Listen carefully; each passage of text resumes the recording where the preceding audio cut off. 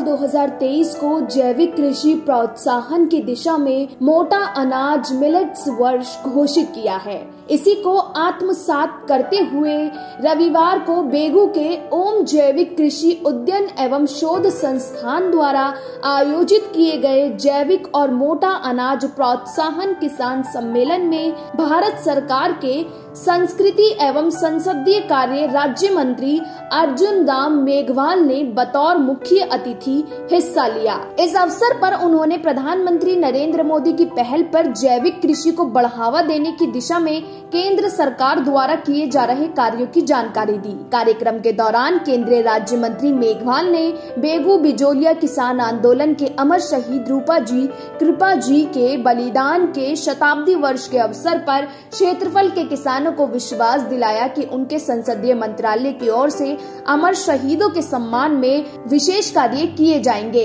इस मौके पर किसान संगोष्ठी को विद्वान पद प्रदर्शक के रूप में भाभा परमाणु ऊर्जा संस्थान के पूर्व वरिष्ठ वैज्ञानिक डॉक्टर मुरलीधर राव संदीपनी वेद विज्ञा प्रतिष्ठान के सचिव विरोपाक्ष वी. जेडी पाल अखिल भारतीय बीज प्रमुख कृष्ण मुरारी समेत देश के कई जैविक कृषि से जुड़े प्रमुख विद्वानों ने किसानों को अपने अनुभवों के द्वारा जागरूक किया। ब्यूरो रिपोर्ट, फ़सल क्रांति न्यूज़।